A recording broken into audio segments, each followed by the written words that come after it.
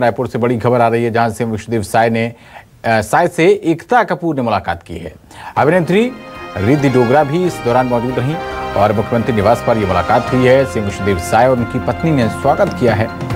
Deputy CM Arun Sahu भी इस दौरान मौजूद रहे हैं। एकता कपूर और अभिनेत्री रिद्धि डोगरा ने सीएम साय को धन्यवाद कहा है और छत्तीसगढ़ सरकार ने फ़िल्म द साबरमती रिपोर्ट को टैक्स फ्री कर दिया है।